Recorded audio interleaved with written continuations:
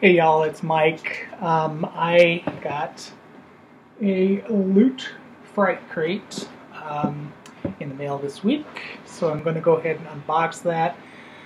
Loot Fright Crate is a subscription service. Uh, they have different crates that you can get, and they come out every other month, so it's not like it's a monthly one. You get like six a year. Um, overall, I've been pleased with the majority of the stuff that I that we get. Um, of course, I don't like all horror things, so if I don't particularly enjoy it, I usually ship it off to somebody who does. Uh, so we'll see. I do not remember the themes, nor do I remember much else, but that's just me.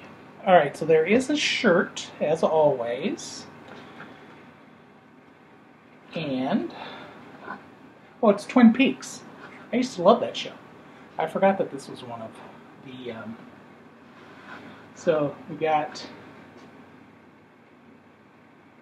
picture from Peaks. That's uh, Laura, the girl who disappeared, the, who the whole show is basically about. And then on the back it says Twin Peaks 30th anniversary. That's pretty cool. I like that. All right. Oh, the pen. Um, yeah. This pen is pretty cool. I know some of my uh, witchy girls might like this, I'm not sure. This is, who is it made by? I don't know. Go to lootcratefrightpens.com. This is the Elder Sign from Omens. I have no idea really what this is. Um, and they never give us a cheat sheet. Loot Fright, if you're thinking, if you're listening to me, which I'm sure you're not, give us a, a reminder sheet of the, the stuff that we bought. I'm old. I forget. Especially since it's like two months. Alright, so there's, hopefully you can see that a little bit better. Pretty cool, pretty cool. Um, I have two boxes and this. Yeah. So y'all might have to help me with this one because I am not really sure what this is. I mean, I'm... Oh, how funny. It's a, um, is this The Exorcist? No.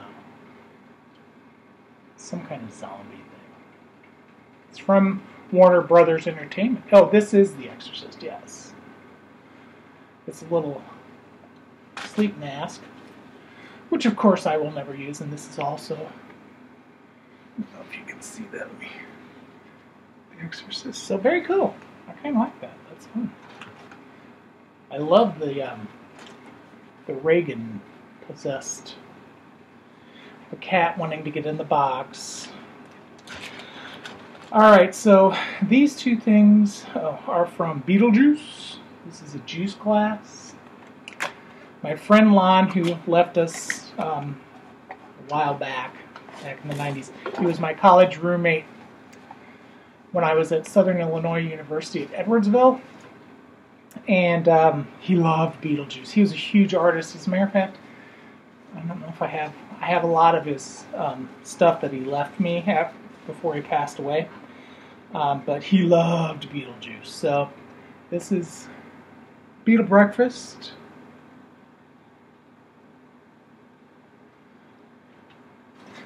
I'll never use it, but I'll put it on display because anything Beetlejuice kind of reminds me of Lon. He was hysterical. He uh, he was one of those guys who was a great artist, so he was snide as hell. His humor was hysterical, but he was absolutely the best friend you could ever have. Just miss him so much.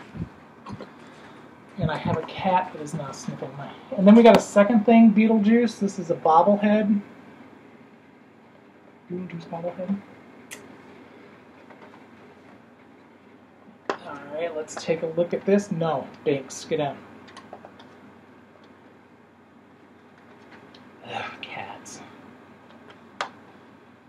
One of the cats broke one of my favorite little um, things, little Boston Terrier Thanks. knock it off by knocking it off of my desk yesterday, and I had it tucked way back. But oh well. All right, so this is Beetlejuice as a snake.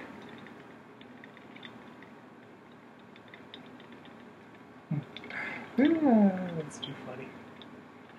All right, so yeah, that'll go on display too as a matter of fact. I'm not even going to put it in the box. All right, guys, so that is it for this month's Fright Loot Fright Crate. It's pretty good. Like this one quite a bit. Love the shirt. Love the the Beetlejuice stuff. Um, I do have a couple movie reviews dropping here this week. I may even try to do them now while I have a quiet minute in this crazy house of mine. Uh, but yeah, let me know what you think below of this week, this month's Loot Crate, or this delivery. It's like every other month. And I will talk to you all soon. Bye.